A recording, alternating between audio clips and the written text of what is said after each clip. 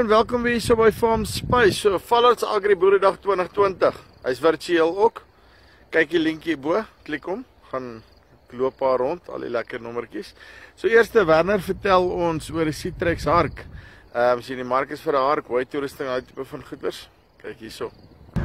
Werner, hoe lyk die dinge? Môre, Chopie, goed in jou kant. Ja, wat aan die gang? Die dinge is besig. Ons kom om so stuk stuk in en werk kom deur. Is daar meer as twee ouens al gekom het vandag? Dit help, né? ja, ja. Sê gou vir my, uh gee my gou so vinnige agtergrond. Ehm um, Fallards Agri.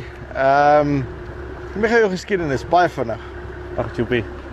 Ehm ek het in 2004 'n visie gehad en uh my skoonpa het my gehelp met 'n paar rand en weet jy wat ek het daai tyd begin in 'n velle stoor en van daar af het ek maar net na 'n ander gebou en nou op die ouens van die dag toe soos op die gebou en so 7, 8 jaar terug het my vrou vir my gesê maar ons moet iets anders doen en toe kom my Savage reed by en toe die Northmac gedeelte en die kuis en nou dis waar ons vandag is maar is maar net seëninge van bo af wat 'n ou kan vooruitgaan in die ekonomiese omstandighede van vandag. Nou, ek wil amper sê ek en jy het saam op die boerdery begin daai tyd. ja. Ek jy daarom weer hare vandag.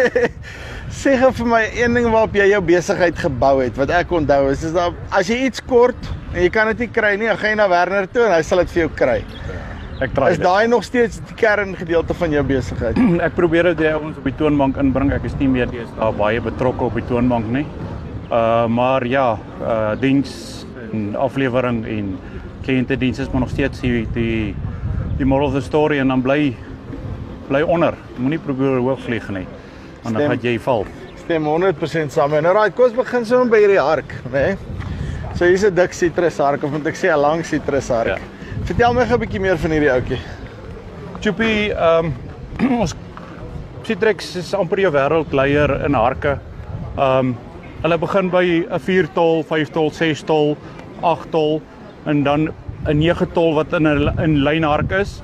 En dan gaan 'n mens na die jou groter harke, jou QR12 wat opvoubaar is en dan gaan jy jou QRX14 toe en dan kry jy jou MKE reeks. Jou MKE reeks begin op 'n 16, 18 en 'n 20 tol. Die voordeel van jou MK reeks is dis 'n V-hark en sy tolle sit aan die voorkant. Dit wil sê as jy hark, dan gooi jy jou materiaal van links na regs of na regs, regs na links. Elke wiel het sy aparte verstelling. Werk met 'n ketting en werk met 'n spring en jy besluit wat is jou hoogte, 'n 9 skakels of 10 skakels en jy hark. Um Ron Pinar het die hark by my so twee weke terug gekoop. Uh dankie vir hulle vir die leen van die hark en dis 'n baie lekker hark. Gister Charles de Villiers het 'n 16 tol ook by ons gekoop en ek dankbaar dit is 'n baie baie goeie produk.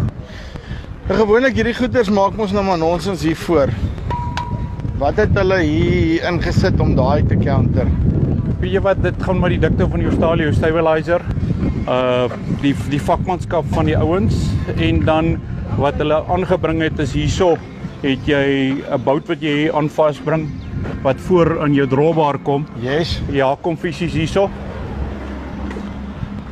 Ja, kom op die drawbar en dan is jou stabiliteit van jou hark daarso en dan probeer ek dan net hy nie daai rattle aksie wat die meeste van die ander produkte het nie. Dit maak vir my regtig ongelooflik baie sin. Nou sê gou vir my, ehm um, jy het nou nog 'n klomp ander ouens hier onder andere die Bolt Engineering.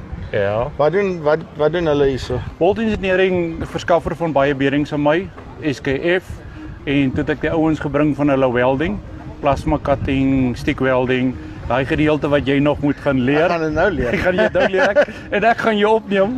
Dit is dit. Ja, jy kan jy kan dit doen. Ek gaan kan gee ek die kamera vir jou. Ja, ons wil kyk of jy iets kan leer daaruit. En dan het ek vir teene Emara ware gekry met hulle Roplaks en hulle is ook 'n uh, verteenwoordiger van ons in die streek vir Harskavanna. Right, so dit is Werner van Fallards Agri. Ehm um, onthou linkie so bo en dan gaan loop jy rond daar op daai virtuele boeredag. Uh, Askerwana in New Holland, nog 'n klomp goeders daarso. Dis van Farm Spice af. Tot volgende keer. Groete.